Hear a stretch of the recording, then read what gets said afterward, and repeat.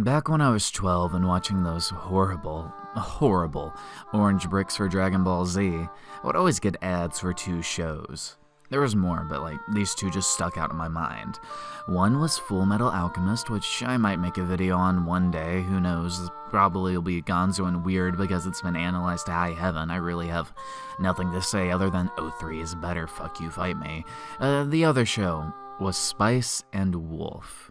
Let me set the stage for you because this show made my young mind stop and stare and wonder. Every second of the trailer captivated me. A journey to the north, economics, winter, and oh, the music was divine.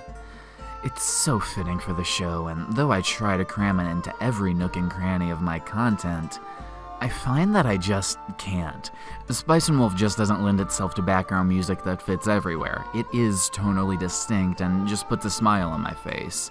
Like the idea of honey pickled apples, which aren't common but do exist, and holy I want some. I need to try this. Like, you, you, you, Holo describes it. You put a little bit of honey, you put some apples, you put some more honey, and you just pickle them. You know, some people add sugar, some people add cinnamon. Oh my god, it just sounds amazing. Which is like what I think, like, the music of the show is honey pickled apples for your ears. Don't put those in your ears, that would probably be like a little slimy.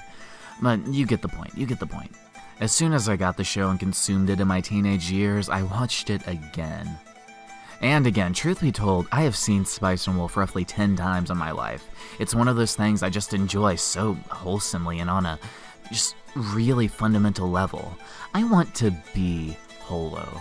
I want to look like her. I want to have her confidence. I want to be a cute wolf girl who can turn the tables at any moment, but would rather rely on her own innate confidence and intellect.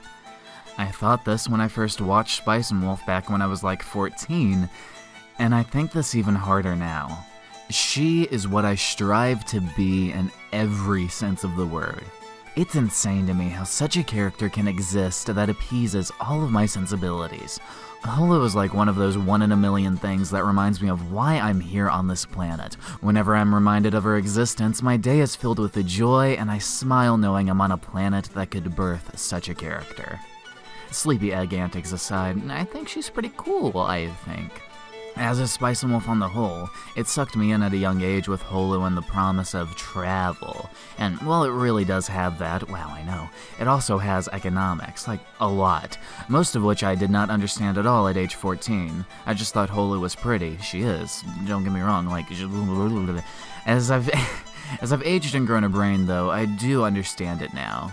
I think. Like, the whole coin arc at the start, where one kingdom is planning on lowering the content of silver in their coins, trading them to that kingdom so that they can actually do that would be profitable, as they need to go about acquiring those coins to mint more of them.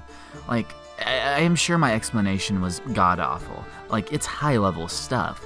At least it is to my baka head, so forgive me if I don't really get all the specifics. Like, I know I don't get all the specifics, I just kind of enjoy it on this fundamental level. It's one of those shows that's just fun to watch. I understand this stuff, but only on the most basic level. If you want an explanation of that stuff, go watch the Mother's Basement video, which I was originally going to do something very similar to and comparing each version of the story and talking about it. Until I realized, of course, that had already been done. Like, I, I, don't know. I, I had like 20 pages of notes for this stuff, and now I'm just like making this short video. Which also, I care more for the characters than any of the economic stuff. Hell, I only brought up all this to say that Holo using her senses to get traces of lies and weaving around the situation to get to a positive end goal is positively wonderful. She's such a cool character, guys, don't you get it? Holo, wow! Lawrence is just like me, a certified holo supremacist. Get fucked, you shepherd girl, holo ooh Honest to God, I have no more to say about Spice and Wolf. I just really like it and love Holo as a character. That is all. Thank you for coming to my sleepy talk. But uh, let's let's talk about Holo's character design. Like her red eyes, her ears, her tail. It's all very good. I like it. I'm a fan. It's great. Um. So yeah. Uh, I, I, I know this might sound like a really vapid level to enjoy Spice and Wolf on, but it, it kind of is just that for me. Like, I appreciate Holo's smarts, I appreciate everything about her character on such, like, an intrinsic level.